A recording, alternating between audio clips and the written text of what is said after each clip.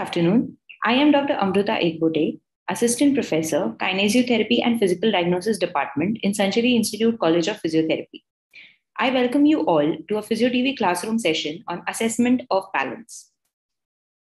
Before we start uh, of um, before we start uh, the assessment of balance, I would like to remind you guys that we had taken uh, another uh, lecture or another session on uh, just an introduction to balance, where we had covered uh, the theory part of it, uh, wherein we discussed about the types of balance, the types of balance strategies, as well as the neural control, how uh, balance is influenced by the visual, somatosensory, as well as vestibular system. So, uh, going on to assessment of balance, the assessment of balance is uh, done in two ways. That is, the static balance uh, can be measured, uh, can be measured or tested, and dynamic balance can be measured or tested. Static balance can be tested in uh, sitting and standing, as well as dynamic balance in the in uh, both of the positions. So, uh, to assess uh, static balance in sitting, uh, we have to ask the subject to just come into the sitting uh, position and maintain the sitting position, which is unsupported, for a certain amount of time. Now, here we have to take into consideration that the base of support, how how much is the base of support, and uh, how uh, the patient is sitting.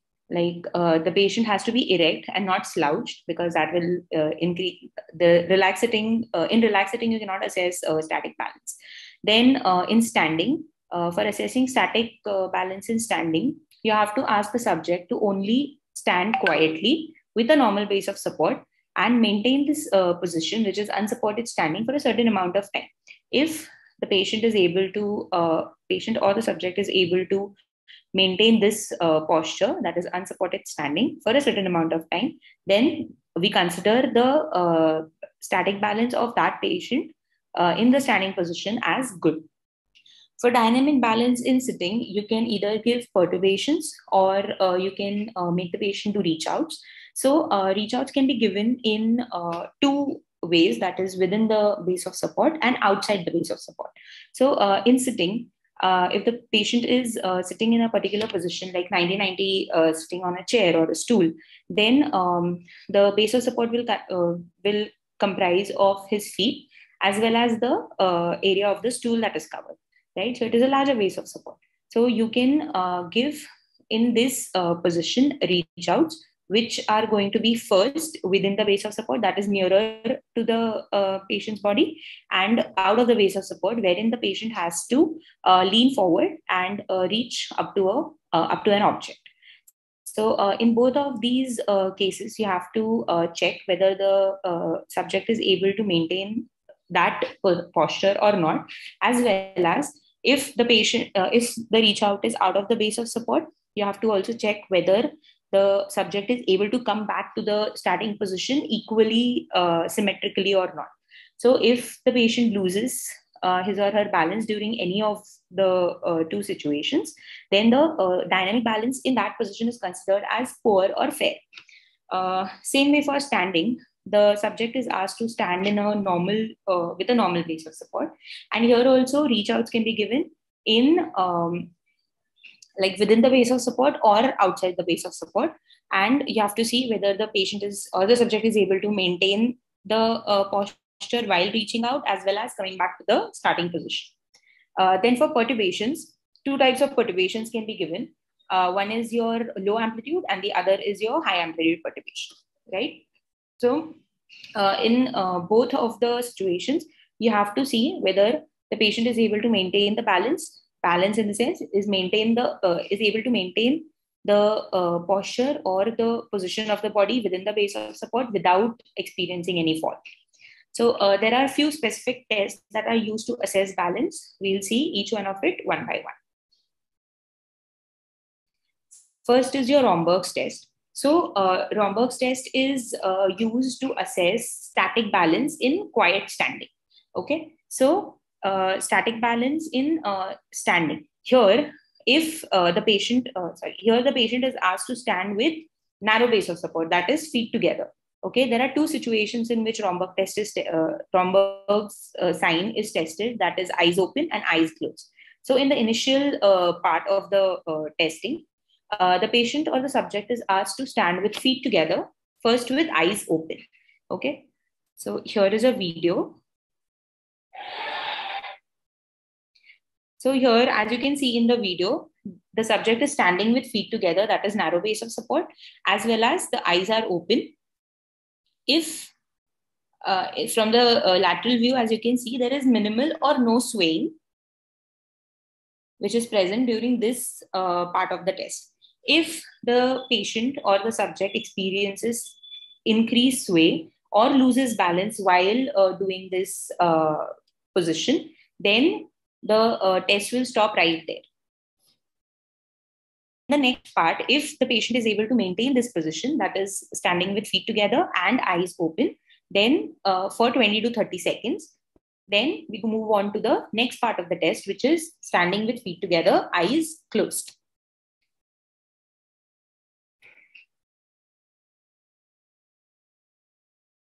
So here, as you can see in the video, the subject is standing with feet together and eyes closed. The subject is standing with feet together and eyes closed. And from the lateral view, as you can see, uh, as you can see, there is uh, minimal or no swaying uh, present.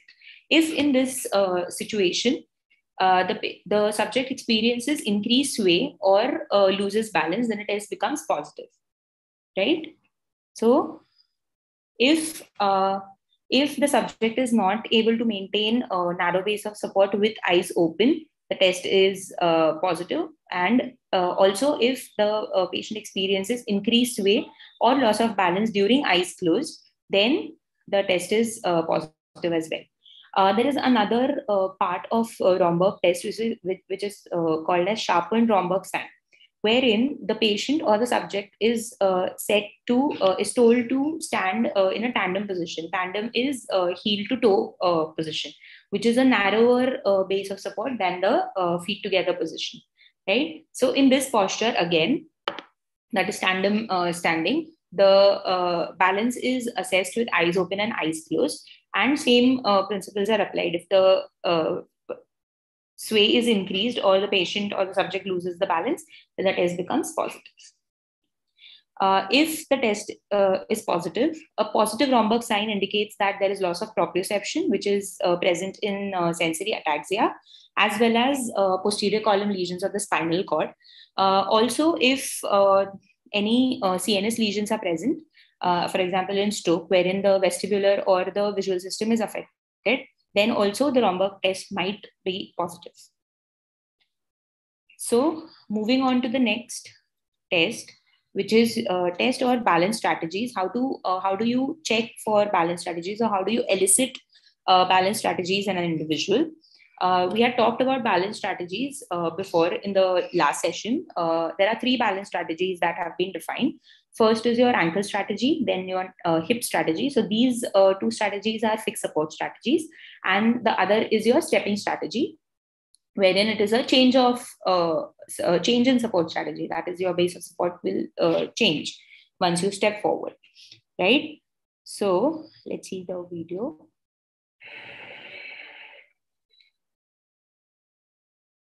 now instruct the patient to look forward the, the patient or the subject is standing with a normal base of support and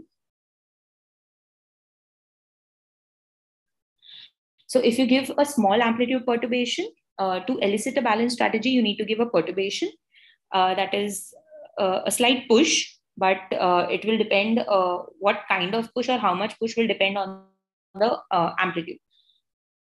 Or how much push will depend on the type of strategy that you want to elicit. So as you can see, once a small amplitude perturbation was given to the subject, the subject the uh, the balance strategy that was elicited was an ankle strategy. See it again. So here, uh, in ankle strategy, as we uh, know, the muscle activation is from distal to proximal, right? And also, uh, it is not just going forward, but it is also about uh, whether the uh, whether the subject is able to come back to the starting position while maintaining uh, the posture or not okay so here as you can see the subject was able to maintain the balance while um, eliciting the ankle strategy, as well as come back to the starting position.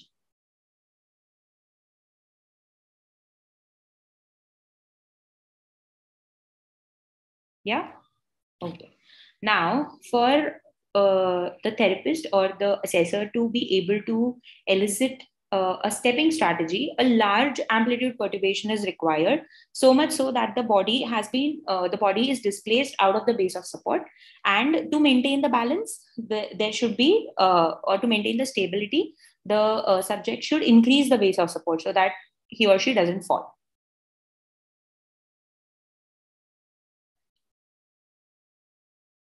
Okay. So uh, here, as you saw, a large amplitude perturbation, uh, a large amplitude perturbation elicited a stepping response.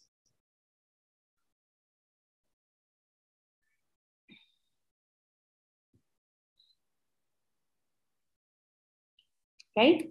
So, uh, for uh, stepping uh, strategy, a large uh, amplitude perturbation is required as well as you have to make sure that the patient that the perturbation is so much so that uh, only a stepping response uh, has been elicited and the patient doesn't fall uh, face first right? You also have to make sure that you have instructed the patient uh, correctly and uh, you have to make sure that the patient knows that you will be there to catch him if he falls. All right. So um, these uh, the uh, this technique or uh, the way you uh, the way in which you are eliciting uh, uh, the balance strategies can also be used to train uh, or retrain the strategies which have been affected during the lesion or because of the neurological condition. So in most cases an ankle strategy or a stepping strategy can be retrained in this in this way. So moving on to the next test there is your sensory organization test. Uh, sensory organization test, uh, this was um, developed so that uh, to check whether the CNS, that is the central nervous system, is able to uh, integrate uh, all of the sensory systems that are all of the systems that are involved in uh, you know function smooth functioning of your balance or able to maintain the balance throughout. So as we know, uh, there are three systems that uh, control or uh, uh affect the balance, which is a visual, uh, vestibular, and somatosensory. So, in sensory organization test, there are six conditions wherein your six conditions wherein your wherein these systems are in some way or the other altered, and um, the postural sway is being measured. So, the subject is standing uh, with a normal base of support in quiet standing. This uh, test is used to uh, test the static balance in standing position, right, with uh, varied uh, stimuli. So, uh, first condition is your eyes open with a stable surface. in eyes open with stable surface, all your sensory systems are unaltered. That is your visual, somatosensory, as well as vestibular. Since eyes are open, there is no alteration in the visual stimulus and stable surface. So your somatosensory and vestibular also uh, is being intact or unaltered. In uh, second condition, um, which is your eyes closed with a stable surface. So once uh, the uh, subject is asked to close the eyes, the visual stimulus has been cancelled, but the somatosensory as well as the vestibular is intact or unaltered. In the third uh, condition, uh, there is uh, which is visual conflict with moving surround. So the uh, surrounding uh, area uh, is being moving and the subject is standing on a stable surface. So here since it is a moving surrounding the vision is going to be altered as well as and your somatosensory and the vestibular system is going to be unaltered because the patient is standing on a stable surface. For fourth condition which is your eyes open with moving surface so here uh, now the uh, surface has uh, surface has started to move, right? So uh, with eyes open, the vision is going to be unaltered, but with the moving surface, the somatosensory uh, system is going to be altered, right? Whereas vestibular is going to be intact. For condition uh, for the fifth condition, which is your eyes closed with moving surface, your visual stimulus has been altered because the eyes have been closed and uh, somatosensory has been uh, altered because the uh, surface is moving, whereas vestibular system is uh, vestibular condition is intact. In condition six, which is visual conflict with moving surround on moving platform, so your visual as well as somatosensory uh, system is altered, whereas vestibular is intact.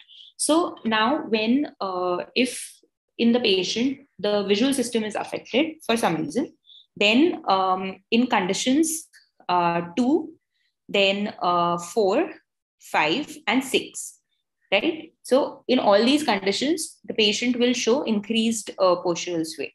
Same for the somatosensory uh, system. If in some way somatosensory system has been affected, then uh, conditions four, five, and six uh, will demonstrate increased postural sway, right? So uh, this test, again, this test is used only to assess static balance.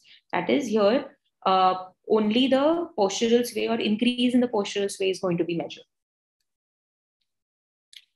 All right. So uh, all these tests which I uh, explained right now, these are all subjective. There is no um, scoring according, uh, there is no scoring or interpretation as uh, compared to the other uh, tests, which is which are your quantitative measures, right?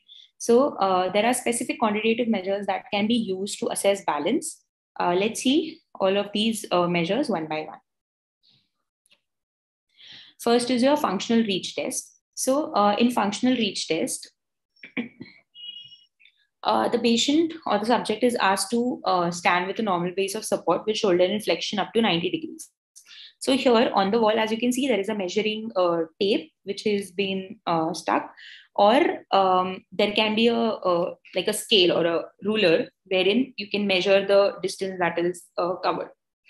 Now, the patient is standing with 90 degree shoulder flexion, as you can see here, and with relaxed uh, uh, this.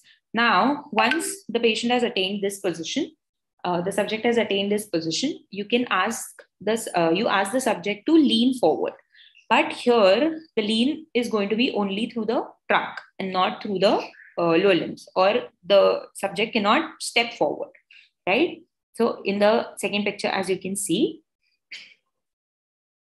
uh, with shoulder in 90 degree, with shoulder in 90 degree flexion, the subject is asked to just lean forward and the uh, distance that is covered while leaning forward minus the distance at the initial uh, testing or initial position uh, the, uh, the, difference is calculated and the uh, number that you get the, the value that you get is going to be your functional reach test value right? There is another uh, modification or and uh, there is another modification of this test which is also which is called as multi-directional uh, reach test wherein here uh, you are only uh, reaching forward right? In multi-directional reach test you are going to reach uh, backward as well like coming uh, not just coming back to the starting position but going a little more back that is doing trunk extension as well as lateral reaches are also being tested both right and left so uh, this uh, test assesses uh, dynamic balance in standing. Next test is your Berg balance, uh, Berg balance scale. So uh, this is a standardized uh, measure to assess balance, both static as well as dynamic. There are 14 components. That is, it is a 14 item scale, which was designed to measure balance of the elderly, elderly, but uh, it can be used in other uh, neurological conditions as well. So um, some components are uh, where you measure static balance like stand unsupported and sitting unsupported, whereas uh, everything else is for dynamic balance, right? It is scored on a, a scale. It is scored on a, a scale of uh, zero to four, wherein zero is the measure of lowest uh, function and four is the measure of highest function. So since it consists of 14 uh, items, the total score or the highest score is going to be 56. And the interpretation is that uh, if the score is between 41 to 56, then there is a low risk of fall. If the uh, score is between 21 to 40, then there is a medium risk of fall. And if it is less than 20, then there is a higher risk of fall. the equipments uh, that are required to carry out this scale are very nominal or very standardized, which are uh, ruler. These equipments are very easily available in any clinical setting or any uh, yeah, any clinical setting. So uh, the equipments that are required are ruler, two standard chairs, then footstool or uh, stepper, stopwatch, and a 15 feet walkway. Uh, the time taken for the therapist to administer the scale is approximately 15 to 20, uh, 15 to 20 minutes. Um, there are specific instructions that are given for each and every uh, component, each and every item to be uh, measured. The test has to be carried out according to those instructions, or uh, it becomes a little uh, difficult to interpret, right? So, moving on to the next scale, it is a performance oriented mobility assessment. So, this scale, it was um, this scale was made for the elderly uh, uh, patients or subjects. It was specifically designed for geriatric population. Uh, this test can be taken in any clinical setting, but um, with a view to uh, add on with the research for uh, subjects or for geriatric patients who are institutionalized, this uh, scale was developed, and the scale is mostly used in those subjects. So, uh, as we all know, POMA is a performance oriented mobility assessment. It consists of two sub, uh, sub scales or sub tests, which is uh, your balance and uh, gait. In the balance sub test, it assesses both static and dynamic balance in varying positions, that is sitting as uh, well as standing. And uh, for gait, there are various components wherein uh, the gait initiation, stride, stride length, step length, as well as symmetry uh, is measured. So uh, it takes approximately 10 to 15 minutes for the assessor to administer the scale, uh, this scale.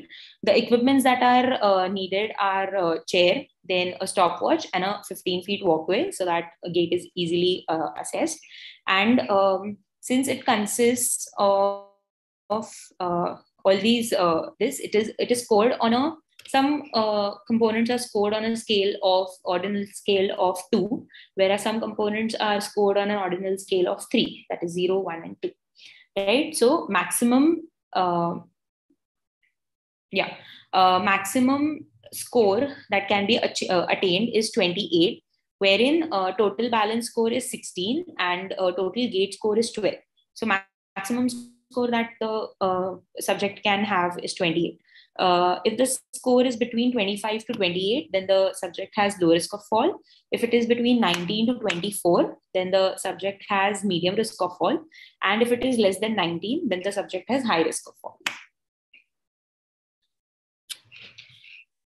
Next test is your uh, timed up and go test. So uh, this uh, test can be administered in anyone and everyone. It is a very uh, easy and very quick uh, measure to uh, quick test to measure balance while standing or for the transition from sit to stand as well as during walking. So, to be able to carry out timed up and go test, you require a chair, a three meter walkway, and a stopwatch. That's it. Uh, the the subject is asked to sit on the chair, as you can see here, and specific instructions are given so uh, before starting the uh, test, make sure that the uh, patient is uh, cognitively cognitively okay, oriented, so that whatever instructions you give to the patient, he or she is able to understand it and do the test accordingly. Uh, also, the subject should be wearing comfortable clothes. The subject should be wearing comfortable shoes, and uh, you have to instruct the subject before starting the test that uh, he or she has to walk at a normal pace or a comfortable pace according to uh, his or her convenience. A three meter walkway is uh, marked on the floor. The uh, chair is placed be- before the starting point, right? Not on it, but before, right? now, once the patient is seated comfortably, the instructions that you're going to give is ask the patient to stand from the place where he's sitting, walk around the uh, walk up to the uh, end point, that is this mark at three meters, turn around and come back and uh, uh, come back walking and sit on the chair. So uh, the assessor is going to start the watch once you tell the uh, subject to stand up and go. Okay. What instruction are you going to give is stand up and go. Right. And uh, the stop, uh, the watch is stopped when the patient comes and sits back on the chair. Okay. So the instructions that you're going to give is stand up and walk around the uh, endpoint and come back and sit on the chair. Okay. Uh, in normal uh, adult, the time taken to complete this test or uh, this to, the time taken to com- walk uh, around the three meter uh, distance is uh, less than 10 seconds.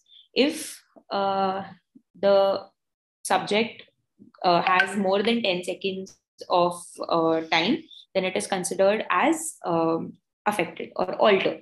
Okay? In most neurological conditions you will see that the uh, according to age the uh, time increases. In a geriatric population uh, the normal value varies a little than the normal uh, adult population. Okay. Next is your uh, next scale is activity specific uh, balance confidence scale.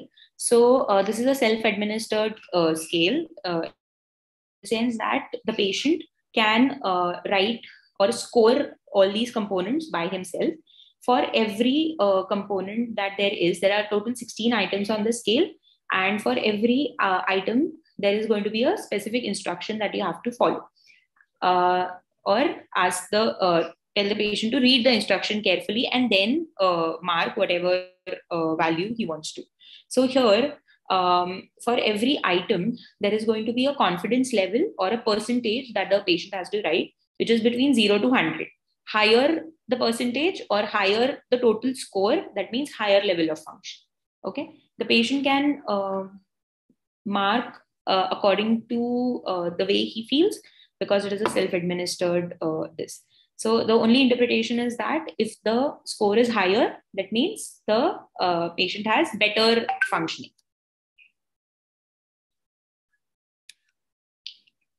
Next uh, scale that uh, can be used to assess balance is your dynamic gait index. So, uh, dynamic gait index was developed to uh, assess balance or postural control during uh, gait. Uh, there are various components, as you can see. There are total eight components in dynamic gait index, which wherein um, gait is assessed in different conditions. So it can be on a level surface, it can be on an uneven surface, it, it, it can be over or around the obstacles, uh, it can be with uh, horizontal head turns, vertical head turns, as well as stair climbing. So each uh, item is uh, there are, there are specific instructions for uh, each item. To be able to administer this uh, scale you need a 10 uh, meter walkway um, and uh, a stopwatch. That are those are the and cones. Those are the only equipments that are required. It takes uh, not less than uh, 15 minutes to administer this uh, this scale. Uh, make sure that the instructions that are given in the uh, scale are uh, exactly uh, administered while uh, you are taking the test and uh, it is scored on a ordinal scale of 4 that is 0 to 3 and every like 0 in the ordinal scale depicts severe impairment whereas 3 is normal so, uh, according to the performance of the subject, the score is marked, right? Um, maximum, uh, sorry, less uh, score, uh, a score of uh, 19 or less is considered as abnormal, and uh, it is it is related to the risk of fall. So, if the score is 19 or less, that means the adult has or the subject has high risk of falls.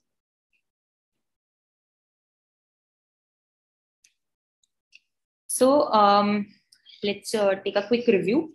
Uh, we saw how to assess uh, balance in both static as well as uh, yeah uh, static as well as dynamic situations. So uh, in two ways the balance can be assessed that is static and dynamic. in sitting as well as standing. So for sitting, uh, static balance, make sure that you tell the subject to maintain the posture unsupported for a certain amount of time. For dynamic balance, you can give reach outs as well as or perturbations. Uh, there were specific tests that we discussed that was Romberg's, then uh, sensory organization test, as well as uh, we learned how to elicit a balance strategy. as well as we saw quantitative measures that are used uh, in day-to-day uh, clinical uh, setting, which are easily administered. So thank you. I would also like to thank Dr. Parag Sancheti sir and Manisha ma'am for the constant guidance and support. I would like to thank our beloved principal sir, Dr. Apurva Shimpi, for giving me this opportunity to record a Physio TV classroom session. And um, our tech team, uh, without them, this session wouldn't have gone as smoothly as it has. Uh, as well as I would like to thank all the viewers who make sure or religiously uh, watch all these sessions. Thank you so much.